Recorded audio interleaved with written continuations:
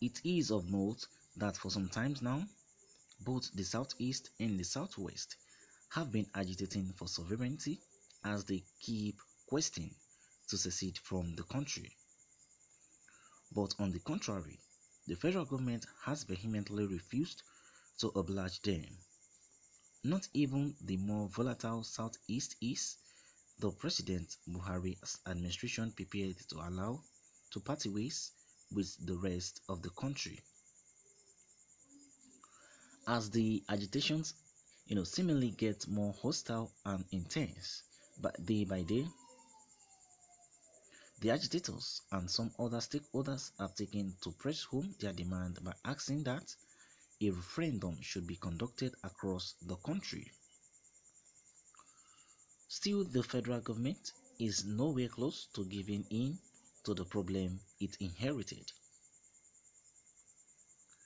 Taking of the persistence of the self-determination agitators for a national referendum, it will not be out of place to assume that they are absolutely confident that the outcome of it will favor them beyond doubt. But one of the most puzzling parts of life is that some of the things that we might have the utmost confidence in are those that often end us in disappointment. But before we continue, what do you think is referendum? You know, we have been hearing the word referendum. We have been, you know, seeing people using the word referendum, referendum here and there. What, you know, is the true meaning of this referendum? According to Wikipedia, a referendum is a direct and universal vote in which an entire electorate is invited to vote on a particular proposal and can have a nationwide or local form. Now, from the definition above, we can deduce that a referendum is just like the conventional elections in which someone above 18 years can vote for or against a person or idea. Now, let us now see some of the reasons why Biafra and Oduduwa nation agitators might be needing a tread with caution as they back up their self you know, determination movement with the quest for referendum. Number one, the age-long higher population of the northern region as compared to the south should be put into consideration. It does not matter whether or not the agitators believe that the northerners are more populous than them.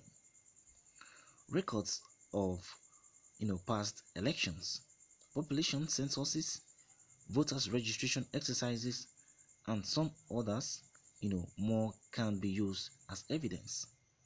And it should be remembered that most of them are against the idea of breaking up the country.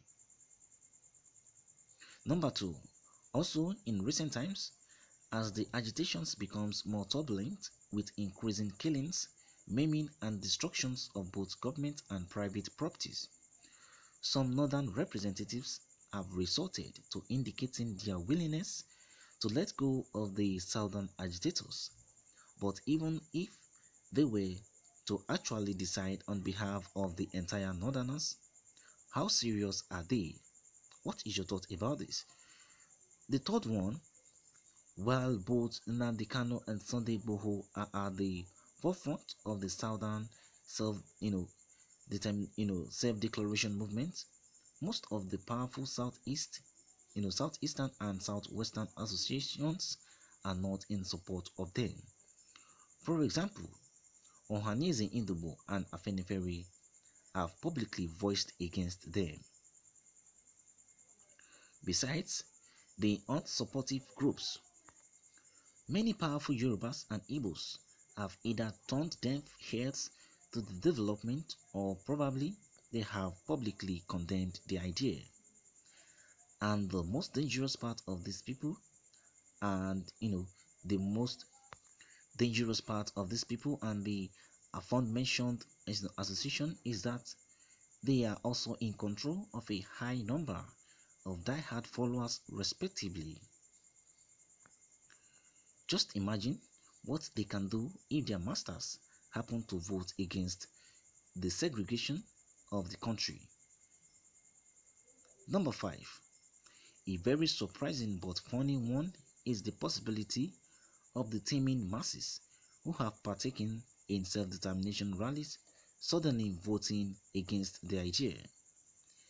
A very good pointer to this is after some political candidates have gathered a large number of supporters during campaigns, end up having as low as only two votes. What is your thought about this that has been said? Which of the above that has been mentioned, you know, are you know possible or likely? Which of the above do you think is or probably are not possible or likely? We would like you to drop your thoughts and comment on this that has been said. Do well to share and you know drop your comments on this that has been said. We have heard, according to the news, that the referendum might not favor the you know Biafra and the Oduduwa nation agitators because according to what we have heard, the meaning of referendum is a direct and universal vote in which an entire electorate is invited to vote on a particular proposal and can have a nationwide or local form. Now, it shows that